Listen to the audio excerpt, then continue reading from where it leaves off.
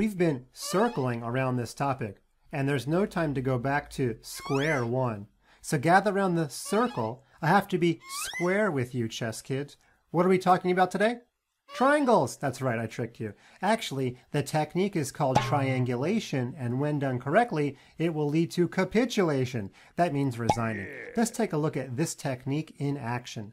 Our first position might look relatively simple. White has an extra pawn, and you might think that you've already done all the analysis and pawn to c6 check wins. Ah, but it doesn't. Now wait, before you throw tomatoes at the screen or send an email to ChessKid, let me see if we can figure this out. After c6 check, you might think that after pawn takes pawn check, king c5 wins. And after all, if the king goes back to c8, and you capture to get the opposition, you will advance, you will play king c7, and I have no doubt you'll win because you're getting a promotion. But if we go back to our beginning position after c6 check, there's no rule that says black has to capture. Instead, if he calmly jogs his king back to c8, this position is actually a draw, whether you take or push or whether you move your king. You're just going to have to take my word for it. If you don't believe me, well, ask your chess coach. He might be able to help out. Let's go back to our beginning position and instead see what white could have done. The key to winning these positions is to understand that white is better off if it's black to move. What we're going to do is create a triangle with our own king, and as we all know, triangles have three sides, while the black king only moves twice. If we can move three times and black can move twice, we will have effectively lost a move on purpose. You don't do that every day, but in the end game, sometimes you have to use these techniques. So the correct move, king to e5. Now black has to be a little bit careful. If he starts wandering over toward our king, actually the breakthrough pawn to c6 wins. Again, you can work that out for yourself. I believe you can figure it out. So instead, black might try to play king c6. Now, of course, we have to guard our pawn chain, so king to d4, and now it makes zero sense for black's king to start charging down the board. So instead, king back to d7 is the only other choice, and then king to d5, and voila! A magician doesn't usually reveal his secrets, but Funmaster Mike makes an exception. We have actually moved our king in a triangle. One, two, three. That makes a triangle. Whereas black has moved one, and he's gone right back two we have lost a move getting back to our starting position with it being black's turn. We have the opposition and we should win. We're not going to look at every single possibility. Let's just take a look at one. Black might play king to c8, and now we have to get the diagonal opposition. Look at all these other building blocks that you have to know to build your endgame house. That's right regular opposition, diagonal opposition, pawn breakthroughs. Triangulation is just the higher level calculus version of all these other ideas. Okay, now if black plays king to d8, we can play king to d6, we have the regular opposition, and after king to c8, remember that idea called outflanking? Yeah, that was from a long time ago. We push the king away from the side, king to e7. In fact, Garry Kasparov calls this shouldering, like we're pushing the black king away with our shoulder. King to b8, king to d7, king to a8. Now wait a minute, one more endgame idea in play. Do not play king c7. That would be stalemate. Instead, we win with this really nice breakthrough, pawn c6, and after he captures, Ow. We play king to c7, and of course our pawn runs free. And after b7 check, it's checkmate in two more moves, because after king moves, we promote to queen, and it is mate long before black's pawn gets anywhere. Let's take a look at a more advanced version of triangulation.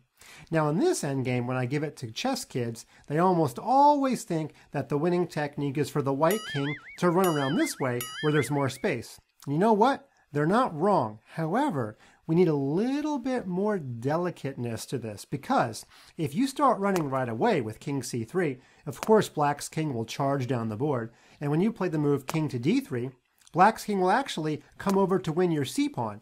That way, black is going to create counterplay with his own c-pawn. Hmm. Now, if you think that a3 check is the way to decoy the king, I've got some news for you. After captures in king to e4, black is actually better after king to b3. That's right, better. Not winning, but better.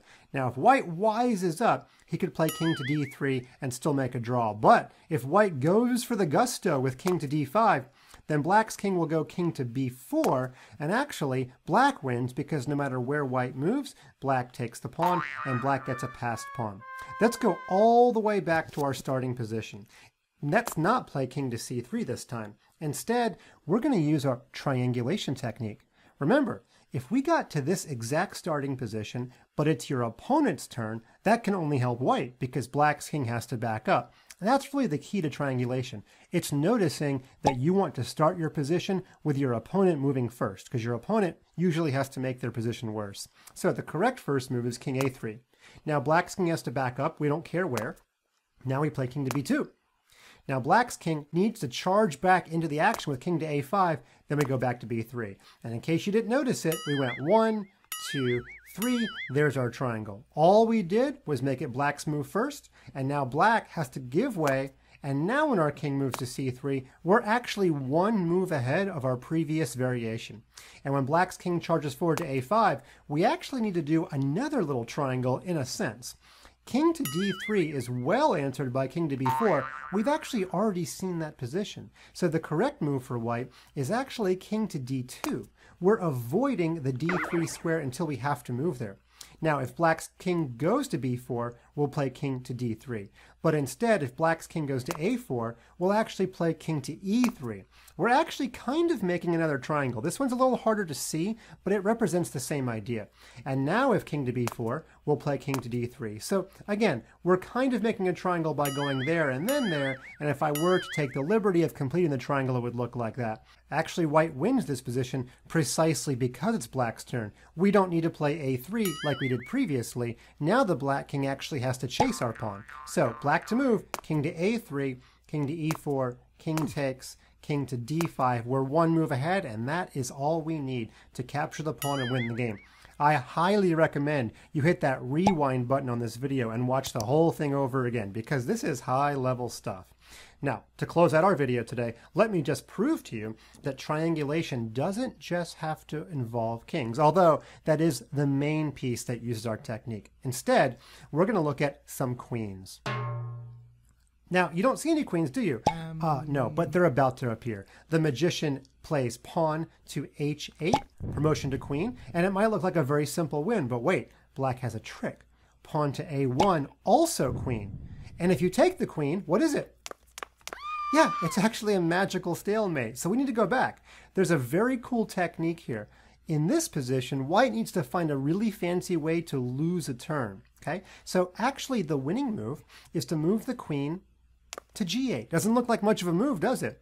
But now white is threatening to simply move his king here or here off of the back row with discovered checkmate.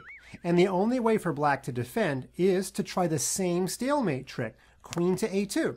Again, queen takes queen is stalemate. So now what we do is we play queen to e8. And again, same threat. Any king move is discovered checkmate.